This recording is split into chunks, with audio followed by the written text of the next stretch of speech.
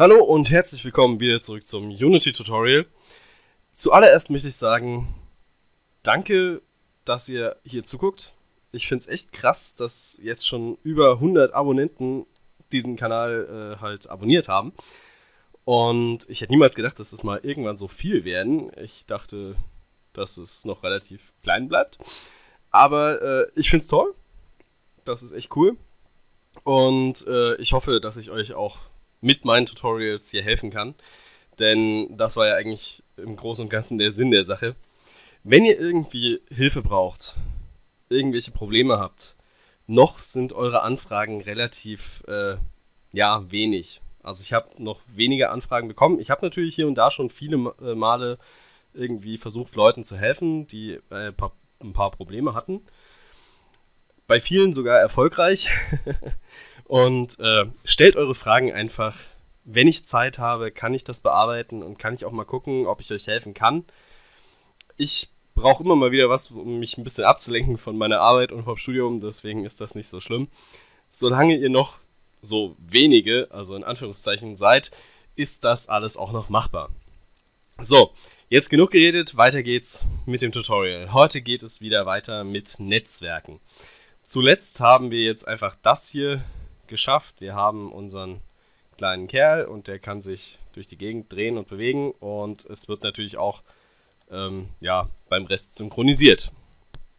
Jetzt machen wir erstmal unser Skript auf, denn heute geht es uns um Bullets.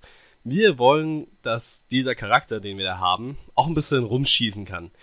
Das hat äh, in einer Hinsicht halt den Sinn, dass ihr lernt, wie man Prefabs synchronisiert. Denn das Problem ist, bisher haben wir nur ein einziges Prefab synchronisiert und das ist unser Player.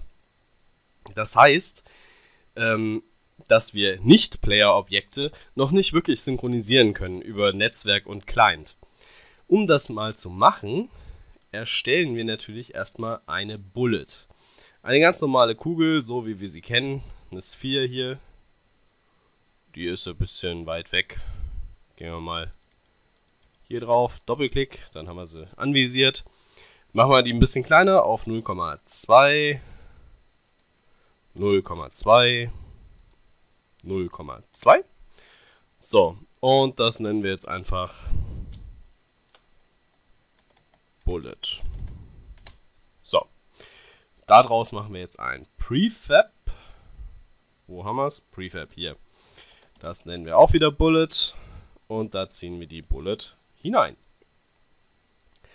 Natürlich habe ich ganz vergessen, wir brauchen noch einen Rigid Buddy. Diesen Rigid Buddy können wir eigentlich so lassen. Ich weiß nicht, Use Gravity können wir ausmachen. Und ansonsten, ja, lassen wir so. Drücken hier auf Apply und ihr werdet sehen, hier hat es den hinzugefügt. Als nächstes werden wir diese Instanz des Prefabs löschen. Brauchen wir jetzt nicht mehr. Und gehen in unser Skript hinein. Ja, als allererstes möchte ich aber was anderes tun als für diese, äh, ja, für den Rest hier von den Prefabs. Nämlich, ich möchte eine Funktion, die im Network Behavior ist, überschreiben. Diese Funktion äh, lautet public. Jetzt müssen wir ein Override hinschreiben, denn wir wollen sie überschreiben. Public Override Void on Start Local Player. Genau, und diese. Ja, da haben wir jetzt hier den Mist. Das können wir weghauen. Und wir nennen, äh, wir sagen jetzt einfach, dass wir von diesem Player, den wir haben, get Component machen. Und, ups, verschrieben, jetzt. Ähm, Mesh Renderer. So. Den nehmen wir jetzt einfach mal und sagen Material. Punkt. Color ist gleich Color. Punkt. Red. Das hat einfach den Sinn, dass wir dann auf dem Client und auf dem Server den jeweils richtigen äh, markiert sehen. Also den jeweils richtigen Player, den wir steuern. Dass das Ganze funktioniert, kann ich euch mal fix zeigen. Wir müssten dafür natürlich wieder hey, hey, hey, das Ganze bauen. Ist natürlich immer wieder ein bisschen nervig, aber lässt sich leider nicht verhindern. Und es baut und es baut und es baut. Jetzt ist fertig. Play. Hier auch noch starten. Play. Host. Der ist rot. Client. Der ist auch rot. So. Jetzt bewegen wir uns hier mal raus. Und ihr seht, jeweils der andere ist halt rot gefärbt. Das ist eine ziemlich einfache Methode, um das halt zu machen. Ist ganz praktisch. Und da könnt ihr euch auch dann halt anhand dessen eure Gegner einfärben oder so weit und so weiter. Habt ihr ja in vielen Spielen, dass dann zum Beispiel ihr grün seid und die Gegner immer rot oder was auch immer. Wie gesagt, äh, macht wie ihr denkt. Ich wollte das jetzt einfach mal so zur Veranschaulichung machen. Als nächstes geht es weiter mit dem, was ich eigentlich tun wollte. Dafür brauchen wir natürlich erstmal das Prefab selbst. GameObject, Bullet. Na, schreiben ist heute auch nicht so meins. Public, Transform. Ich bin selbst so blöd, um Transform zu schreiben. Ähm, Spawn. Bullet. Also, wir haben das GameObject und die Stelle, an der die, das, äh, die Bullet halt gespawnt werden soll. Für alle, die es noch nicht wissen, wenn man ein GameObject hat, hat dieses GameObject automatisch ein Transform. Das heißt, wir nehmen dann einfach ein Empty GameObject und davon wird dann einfach das Transform genommen und dort können wir dann halt damit ja unsere Bullets ermitteln. Und jetzt machen wir eine ganz einfache Funktion hier if input get k ähm, Start, äh Quatsch. Kcode.space. Ach, nehmen wir lieber onk down. Macht mehr Sinn. So. Also wer das hier alles noch nicht kennt, bitte guckt euch die früheren Tutorials an. Da werd, äh, wird euch geholfen. ich möchte nicht immer alles äh, direkt erklären. Also ich gehe meistens davon aus, dass wenn ihr dieses Tutorial guckt, ihr auf einem Stand seid, der halt ungefähr auf dieser Nummer des Tutorials basiert. Ähm, ja, und hier werden wir einfach bloß eine Funktion auslösen. Sie nennt sich Fire. So. Die müssen wir natürlich jetzt noch erstellen. Private void fire. Die wird dann da ausgelöst und in dieser Funktion brauchen wir natürlich erstmal ein GameObject. Bullet Container. Das ist jetzt die Bullet, die geschossen wird. Und die soll natürlich ein GameObject sein. Ups. Und dieses GameObject soll natürlich instanziert werden. Und dafür brauchen wir, Quatsch, das brauchen wir nicht, sondern das hier ähm, Bullet, Komma, Spawn Bullet, Punkt, Position, Komma, Spawn Bullet, Punkt, Rotation. So, jetzt habe ich's. Das spawnt jetzt erstmal unsere Bullet. Ganz einfach, ganz simpel, so wie ihr es gelernt habt. Dann haben wir hier ein Bullet, Punkt, get component, rigid body, Punkt Velocity. Das ist einfach die Bewegungsrichtung, die wir da einstellen können.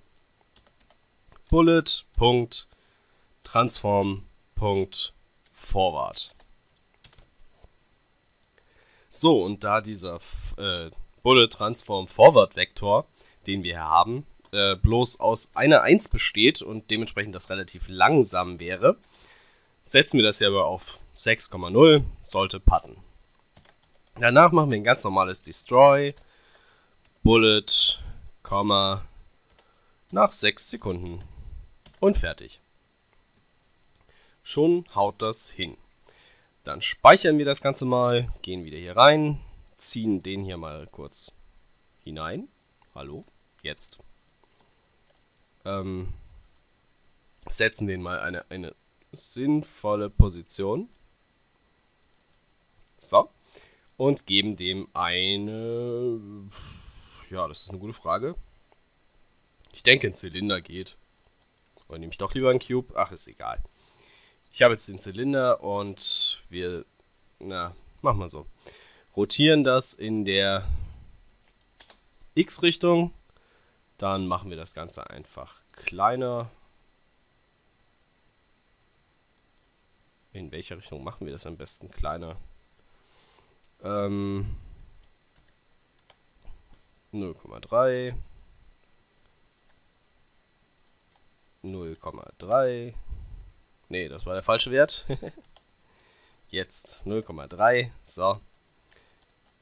Ach ja, das behält die Richtung bei. Das heißt, wir müssen das jetzt hier ranschieben. Ist ein bisschen lang. Machen wir hier noch ein Stückchen kleiner. Das ist jetzt unser Gewehr. Von diesem Gewehr aus erstellen wir ein Empty Object. Das ist der Emitter. Ich habe es mit einem T zu wenig geschrieben. So. Und dieser Emitter soll natürlich eine sinnvolle Position haben und das ist hier vorne beim Lauf. Als nächstes muss ich hier den Capsule Collider entfernen. So. Und schiebe das alles in den Player hinein. Apply und schon ist das alles im Player drin. So. Jetzt geht es weiter damit, dass wir nochmal den Player brauchen. Den habe ich ganz vergessen. Und hier haben wir jetzt das Problem, es fehlt natürlich die Bullet und es äh, fehlt der Bullet Spawn. Das heißt, wir müssen hier den Emitter einfügen und hier die Bullet. So, damit ist das da drin. Wir können wieder auf Apply drücken und hauen das Ding wieder raus. Als nächstes müssen wir beachten, wenn wir so eine Bullet haben, dann gibt es ein ganz, ganz großes Problem. Denn die Bullet wird nur da gespawnt, wo der Spieler, der sie spawnt, auch wirklich halt erzeugt.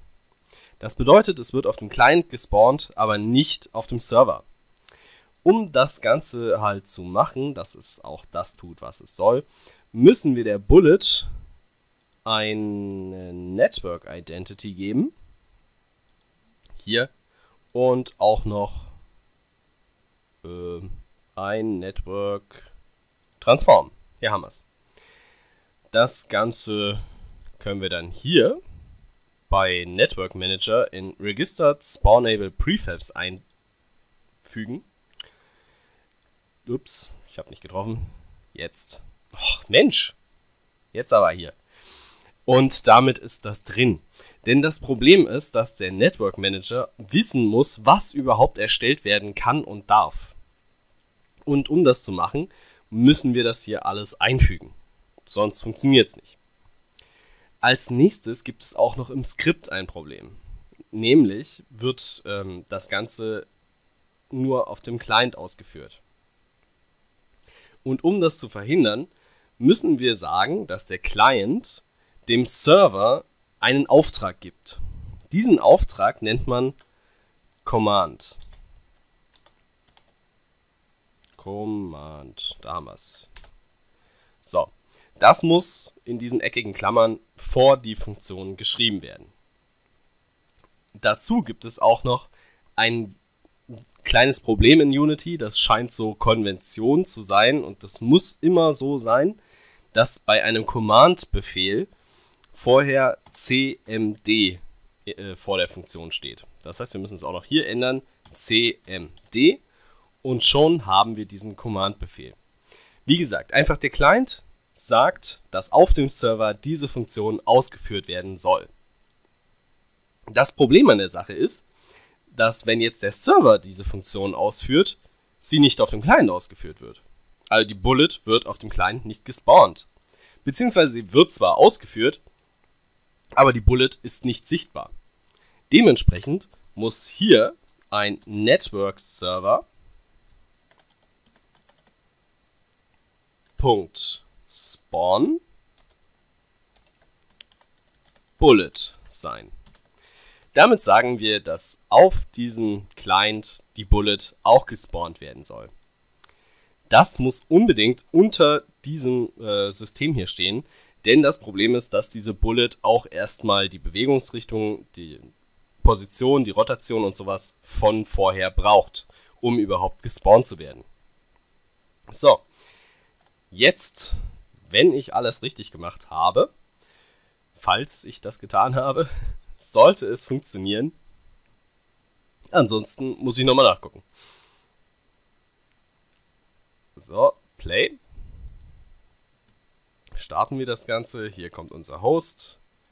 Da kommt unser Client. Den bewegen wir hier mal ein bisschen weg.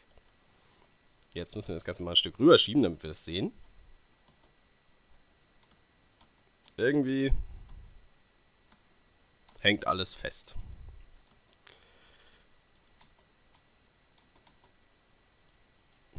Die Bullets werden irgendwie gespawnt, aber es passiert noch nicht richtig was. Okay, also müssen wir das noch abändern. Ja, der Fehler war jetzt auch schnell gefunden. Ich habe einfach versehentlich hier statt dem Bullet Container überall hier Bullet verwendet. Das war nie sehr schlau. Und ja, etwas dämlich. Container Container. Denn wir wollen ja nicht das Prefab, was wir haben, verändern, sondern das, äh, die Instanzierung dessen abändern. Und genau deswegen hat es einfach nicht funktioniert. So. Save. Jetzt können wir das Ganze wieder Build and Run. Und es dauert. Play.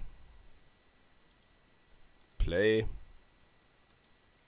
Host, Client.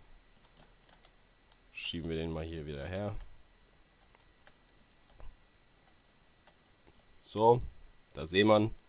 Jetzt können wir hier schießen und ihr seht, auch hier schießt es.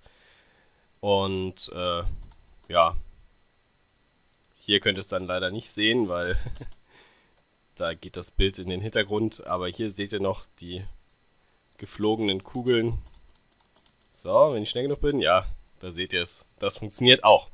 So, die Folge ist ein bisschen lang geworden, tut mir leid, aber äh, manchmal lässt sich das nicht ganz so raffen. Ähm, wir sehen uns dann einfach beim nächsten Mal.